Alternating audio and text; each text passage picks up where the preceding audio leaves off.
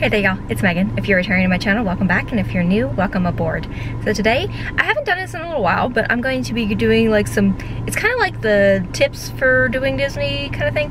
I haven't talked about things that you should or shouldn't do when you go to Disney in a while. Um, it's mostly been like trivia stuff and storytime stuff, and um, if you like those, make sure you're letting me know down below which ones uh, you like and what you want to hear about.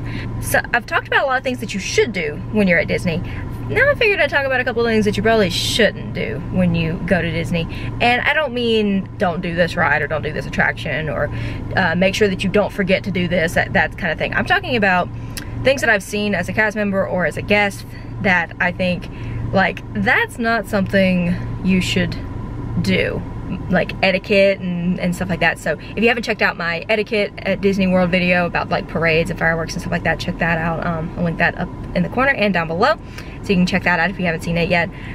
But just in general, try to be courteous and respectful and also maybe not do some of these things. The first thing that I think that you definitely should not do at Disney World is actually a rule um, and cast members will say it over and over and over especially if you have like little guys that are with you. They are the ones that usually get told this. Don't sit on queue chains or ropes or anything. You will hear cast members all day long every day saying hey bud can you get off the chains for me? Don't sit on the rope please. Don't pull on the ropes. Don't sit on the ropes. Don't jump over the queue. Don't pull on the queue. Don't touch the queue. Um, and that is primarily for safety. You don't want to see kids um, and I have seen it, uh, sit on the ropes and be swinging because it's like a swing and it's fun, um, and then just like completely tip out of it. That happens. Um, the stepping over, that's mostly adults that do that because if queue has been extended and there's a you know lots of switchbacks and you can see that maybe the line has gotten shorter and no one has come and closed queue then you're like, oh, well, the line is actually only like this long, but I have to walk all this way and I don't want to do it, so I'm gonna go under the rope or I'm gonna step over the rope. Um, don't do that either. I've also seen adults that like catch a toe as they go over the rope and face face plant. Um, so don't do that either. Uh, so that's the safety part of it. And also, it you may not think about it because most of the time when kids are sitting on it, they're not that heavy and it's a chain or it's a rope or whatever and it's like, oh, you're not gonna break it. Um, but it can be destructive. The chains and the ropes and everything, while they are not gonna just like snap under the weight of a 40 pound child, uh, they do pull in and the stanchions that are holding those ropes and stuff up start to lean. And if you are looking in a queue, you can tell where people have sat or, or even stood. I've seen parents holding kids up, like walk on the tightrope kind of thing. And don't do that, please. Dear Lord, don't do that. But the stanchions start to lean in. And some of them have pulled out of the ground and they've had to be resecured.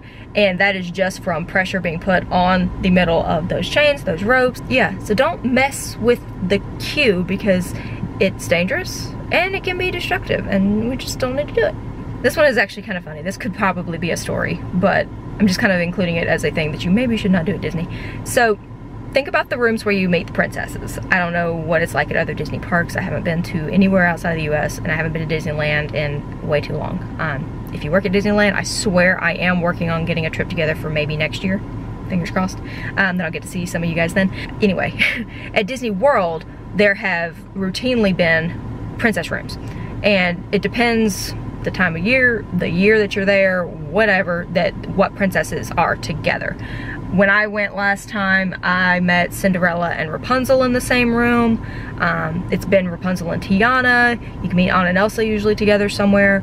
Um, but when I was on my college program, there was a room that had three princesses in one room. There was Aurora, Cinderella, and Belle. Those three were all in one room and you would just kind of go from one to the next. It was a mom and a little girl and they wanted her to be dressed as the princesses that she was meeting, which is totally fine. Like what is cuter than a small Belle meeting Big Belle? Belle loves it. Any character, if they see that you are dressed like them or wearing something that, you know, Minnie likes to talk about your ears and things like that. So if you are meeting a princess and you're dressed like her, she's gonna be like, oh, princess, your dress is so beautiful. And she's gonna, you know, they're gonna interact about that and it's always a fun time. However, comma, if there are three princesses in one room and you are going to see them back to back to back, there is nowhere for you to go and swap outfits. And that does not mean that you should undress your child in the middle of the room so that she can have a different dress for each princess. Yes, that happened. I'm sure it happened more than once, but I only specifically know of one time. That is a don't. Do not undress your kid in the middle of the room to switch dresses. I know it can uh, can be unfortunate if you want her to have the matching dress on and she has to meet Belle and Cinderella and Aurora all in her Belle dress, but that's just kind of how it is. You can't uh, you can't just like strip the Belle dress off and be like, okay, now Cinderella, here you go. Now go take the pictures. The, the mom took the picture of the little girl in her Belle costume, standing next to Belle, and we're like, oh my gosh, it's so cute. Uh, she comes back. Go over to Cinderella when Cinderella's available. And she literally like stripped the Belle dress off, put the Cinderella dress on, and shoved her up to her. And then she was very upset that she did not have the Aurora dress on to meet Aurora because cast members were like, you kind of can't do that. Um, if you want to get pictures with your, your, your little princess matching her favorite princesses, it sucks, but you're gonna have to like come back into the line multiple times. So, you know, take a picture with Belle, cool, leave. Go change clothes, come back later. Take a picture with Cindy, leave change clothes. Uh, and, and, you know, it's gonna be time consuming, but if that is something that you are really desiring is those matching photos, which are absolutely adorable, and I'm sure that they will be treasured memories, um, but you just can't just start getting naked in the middle of Disney World. And the last one is I don't for if you are visiting Disney World and you know someone who works there. Don't ask for free things from cast members that you happen to know because they are your cousin's best friend's sister and you went to a party together one time or if you went to high school together and you have not talked in 10 years and hey, can you get me into the park for free? Uh, it's not a good look. The cast members get do get like free entrance passes for family and friends that they can use. And if you are friends with someone and um, they offer to get you into the park for free then absolutely take it. But don't ask cast members for those benefits. Say hey, we're gonna be at Disney World and we would love to see you if you are working these days or whatever. Or if you are off, we would love to go and grab some food. And then if the cast member says, oh, would you like me to, to comp you and like, you know, get you in and we can go hang out in the parks together, then at that point, absolutely. Say 100%, yeah, I am all for free. If they don't bring it up on their own, don't be like, hey, don't you get like uh, free things for being a cast member? Can you, uh, you know, hook me up? And we, we, we used to hang out 15 years ago because then they just feel used and it's not nice to feel used. No one likes that. Maybe they were saving them for a family who was gonna come visit that couldn't otherwise do that.